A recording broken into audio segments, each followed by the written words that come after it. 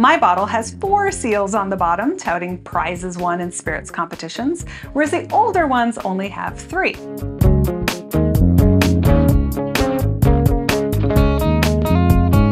Hello and welcome to My Tiny Bottles, the project where I'm exploring my grandmother's legacy of miniature liquor bottles, one tiny bottle at a time.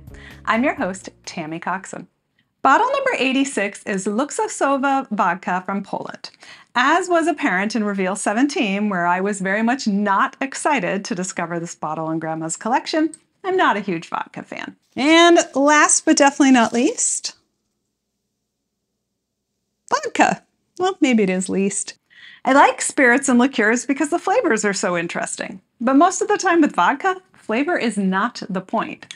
But I also like spirits and liqueurs because they have fascinating stories. And on that score, vodka doesn't disappoint.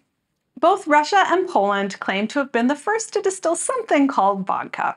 And short of inventing a time machine, we're not going to be able to resolve that claim to anyone's satisfaction. But we do know that by the early 1500s, it was being produced in both countries. In 1580, the town of Poznan in Poland had 498 working distilleries. What they were making wouldn't have tasted much like today's vodka, though. Today, vodka is defined by its purity and is produced by distilling a fermented liquid to at least 95% alcohol by volume. Back then, the technology to make that possible was still hundreds of years away. Using triple distillation, they could produce a spirit that was at most 75 to 80% ABV, similar to a modern white whiskey, which would then be diluted before sale.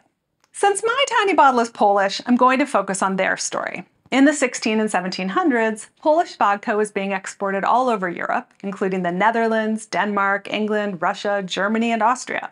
The hundreds of small distilleries from the 1500s gradually consolidated and fewer larger producers began to dominate.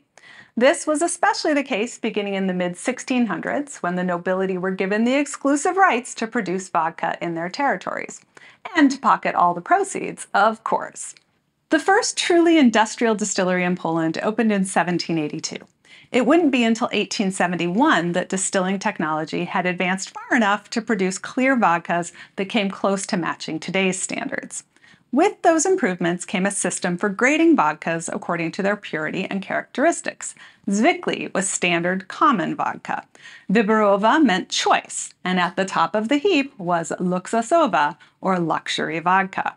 While those grading standards aren't used anymore, they live on in the names of Polish vodka brands still today. This includes my tiny bottle of Luksusowa, which means luxurious.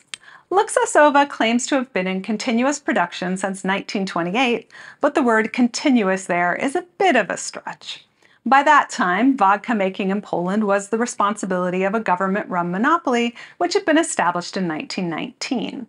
After World War II, the communist government further consolidated the spirits industry, creating an entity called Polmos and putting all distillation in the hands of only six distilleries. In addition, there were 19 compounders who would blend and bottle the raw spirits produced by the distilleries. So Luksusowa from this time could have been produced by any of them. And while all the locations of Polmos were supposed to be following the same recipes, some are just better than others, so people would seek out their preferred product from whichever Polmos they thought made it best. As I mentioned in my episode about Bottle 47, the Polish cherry liqueur Wiśniak, this system changed after the fall of communism. After 1989, Polmos locations were privatized and the brands were distributed between them. Luksusowa went to the one located in Zielona Góra, where it's still made today, and is now owned by Pernod Ricard. Luksusowa began being imported into the US around 1987. Ads from that time show similar looking bottles to mine, with one big difference. My bottle has four seals on the bottom, touting prizes won in spirits competitions, whereas the older ones only have three.